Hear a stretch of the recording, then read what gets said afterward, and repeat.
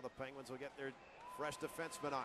Straight and Diversa. But at center ice, it'll be buckets off. Trevor Gillies and Jesse Boulerice. Gillies coming over the top. Oh, Boulerice comes over with a left hand, just missing. An uppercut by Gillies, too. On the head, and now Boulerice trying to get a left hand free. Two tough customers right here. Boulerice connects with an uppercut of his own, a left hand. Shakes off Gillies. Down on one knee, Gillies back up again. Boulerice takes a pop from Gillies with a left hand, shakes that one off, trying to hack away as Boulerice trying to get rid of Pat. Gillies has him held on to.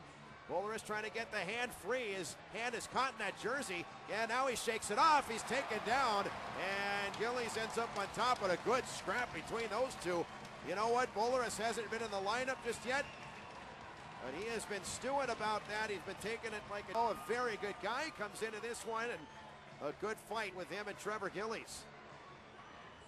Now Bowler go. Now was the jersey tied down? That's the question. He's going right into the dressing room unless it was.